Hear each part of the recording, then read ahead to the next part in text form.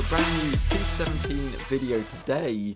Today, once again, we are jumping back over to the squad building challenges for another one of these, um, I, don't, I don't know what you call it. It was um, very similar with the, um, who was it? With uh, Gareth Barry, with the milestone achievement squad building challenge. I'm not exactly sure what he did, nor do I know what uh, this player did for his achievement, but um, of course, as you know, you can tell by the title, we do have Buffon with his blue and purple 89 rated card.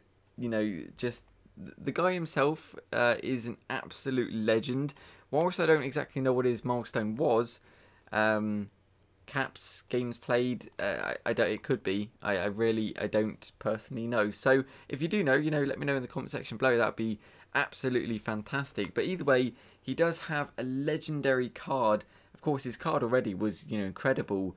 Um, but um, yeah, he's got an even better card this time around. So the card itself is actually really quite good. Just the challenge itself is uh, somewhat underwhelming. So we'll jump into it and see what the requirements are. Of course, you need uh, 11 Calcio A players, 4 Juventus players minimum, 85 rating, 100 chemistry.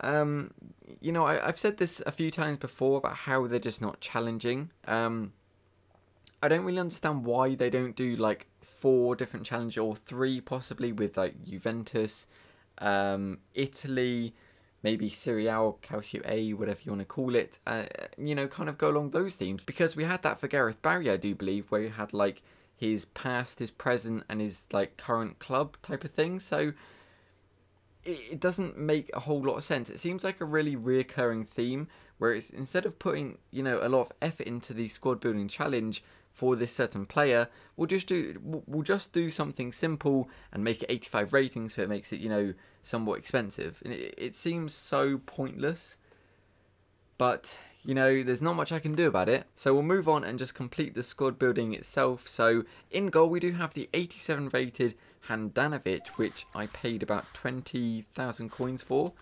Um, so the, I would say the squad itself would cost around six, 50 to 60,000 coins in total. Probably, you know, actually more like 60 to 70 if you, you know, buy all the players. But if you have some of them, I would say the most expensive players will cost you 50 to 60,000 coins, which isn't actually too bad for an 89 rated um, Buffon, which is quite good. Um, so the next player we do have is Barzagli, then Bonucci. So we've got uh, Bonucci, Benatia, and Barzagli with Handanovic as well. Um, that's pretty much the most expensive part of the squad for me, is just the uh, those three players. Barzagli, Handanovic and uh, Bonucci. So in CDM we are going to go with uh, De Rossi to boost up the rating and then we are going to go with Albiol. For some reason he works. I'm not going to argue. I'm, I'm just going to take it. So um, in cam we do have Valero, Borja Valero in cam. There we go. I think I nailed that. Alright, so João Mario goes in the right mid position. 83 rated, boosts up the rating quite nicely. Then it is uh, Bonaventura goes in the left mid, 82 rated. Um, two strikers, of course, as you can see, are going to be Mandan. I'll try that again. The two strikers are going to be Mandzukic and Banega. There we go. So that's that's the squad itself. There's nothing else I need to say. Uh, I mean, I wouldn't say this was the cheapest option, but for me, when I find an option that works, I'm not really going to change it too much. I, I, just don't. I just don't really see much point. Um, you could probably do it cheaper. Maybe you could do it with different players besides Handanovic. Um, maybe you can get some other players that are cheaper, you know, in the different parts of the team. Maybe a high-rated striker that's cheaper than the goalkeeper. I, I don't know. You know, this is how I did it. Hopefully, if uh, if it helps you find a cheaper way of doing it, then uh, you know that's somewhat completed the uh, the purposes of this video. But this is my team. We're just going to get rid of it. Um, like I said, it cost me about what in total. I would say because it cost me about twenty. I'd say sixty thousand coins in total. Twenty for the two defenders and twenty for the uh, the goalkeeper, and the rest was just you know untradeable in my club. So 60,000 coins for an 89 rated Buffon, which is incredible. Um, and there he is. There he is his card. 89 diving, 88 reflexes, 90 handling, 72 kicking with 92 positioning with 54 speed. Incredible, incredible looking card. Um, I don't really have a team for him, but I'm sure somehow I can fit him in into a team. It's an incredible looking card. So there we go. Put him straight to the club. Unfortunately, with those type of squad building challenges, we don't get any packs nor any coin rewards as well, which is a little disappointing. So I've managed to acquire myself a Loan Legend pack from a um, from the single player tournament, which was an absolute pain to, to complete. But we get 12 items, 12 gold, 3 rare, we get 1 legend. Not, I mean, the rest could be quite good, so...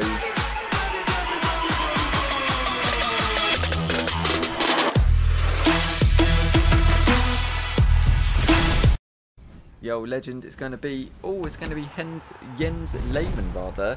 88 rated goalkeeper, 5 games, which isn't too bad you know, at this rate, I'll have like a full team of loan legends because I've got what's his face, Del Piero, Overmars, Maldini.